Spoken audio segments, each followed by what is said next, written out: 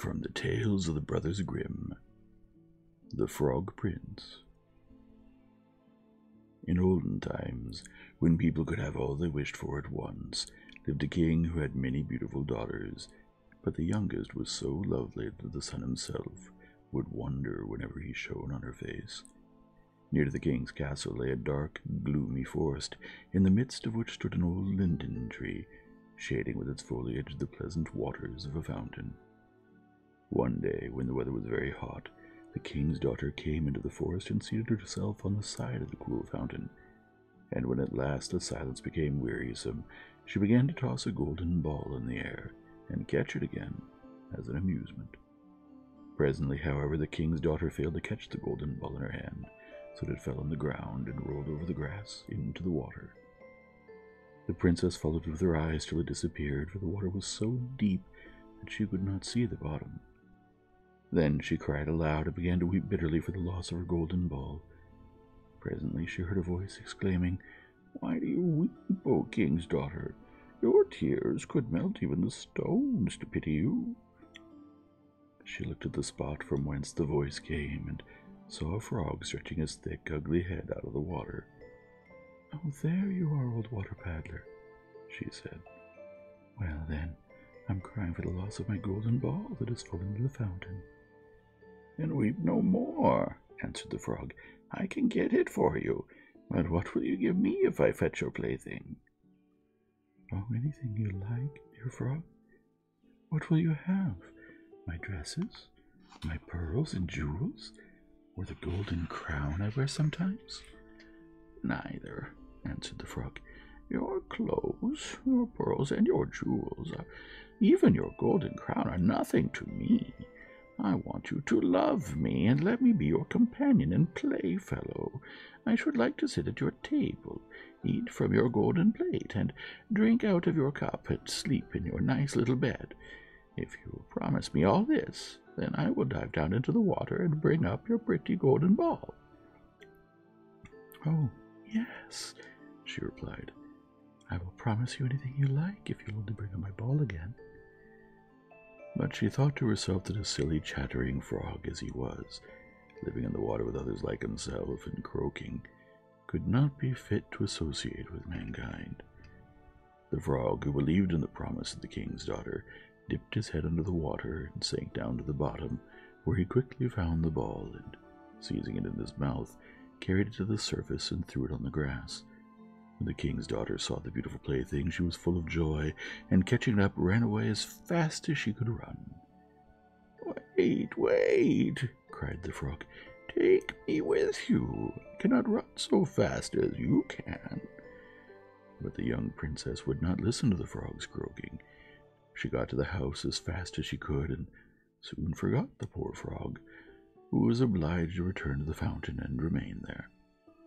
The next day, however, while the princess was sitting with the king and his courtiers and eating out of her own little golden plate, she heard a strange noise on the marble steps outside. Splish, splash, splish, splash. And presently came a knock at the door, and a voice cried, Lovely princess, open the door for me. So she rose and went to see who could be outside. But when she caught sight of the frog, she closed the door hastily and seated herself again at the table, looking quite pale. The king, seeing that his daughter was alarmed, said to her, My child, what is there at the door? Is it a giant come to carry you away? Oh, no, my father, she replied. It is no giant, only a great ugly frog. A frog? What can he want with you, my daughter? Oh, my dear father, I will tell you all about it. Yesterday, when I was playing with my golden ball by the fountain in the forest, I let it fall into the water. And because I cried, the frog fetched it out for me. And he made me promise that he should come to the castle and be my companion, for I thought he could not get out of the water to come to me. And now here he is. Just then came a second knock at the door, and a voice cried, King's daughter, king's daughter, open for me.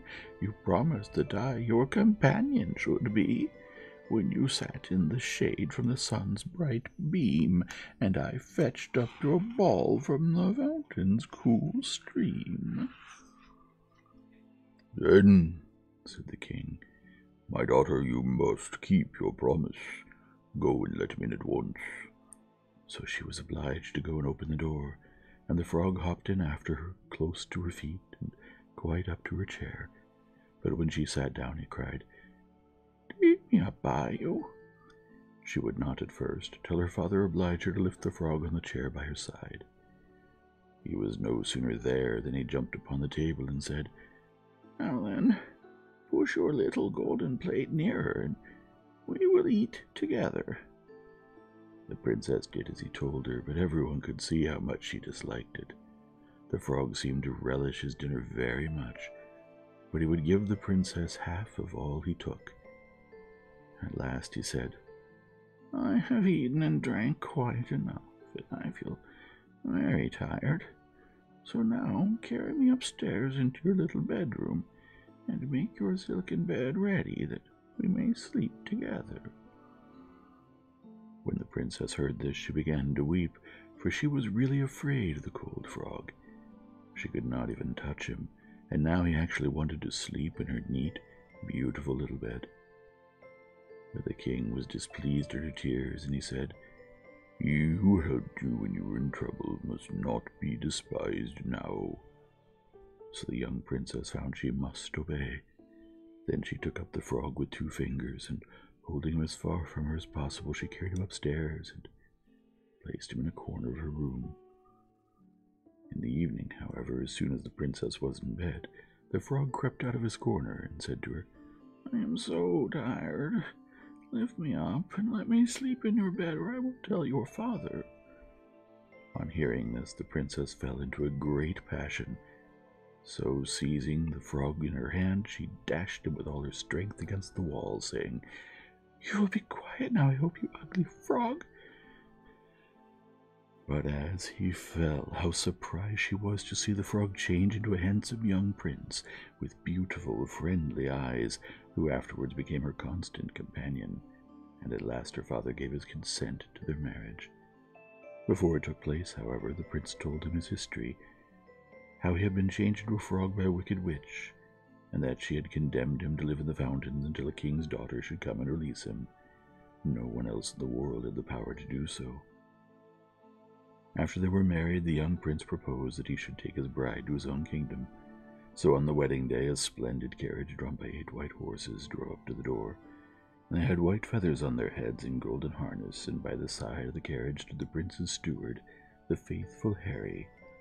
This faithful Harry had been so unhappy when his master was changed into a frog that he had fastened three iron bands around his heart to prevent it from bursting with woe and sorrow. The carriage with the prince and his bride soon drove away with Harry behind in his old place and full of joy at the release of his master. They had not travelled far when they heard a loud crack, as if something had broken. Now the prince knew nothing of the iron bands around his servant's heart, so he cried out, Harry, is the carriage breaking? No, sire, he replied. Only the iron bands which I bound round my heart, for fear it should burst with sorrow while you were a frog confined to the fountain. They are breaking now because I am so happy to see my master restored to his own shape and traveling to his kingdom with a beautiful bride. The prince and princess never forgot faithful Harry, who had loved his master so well while he was in trouble.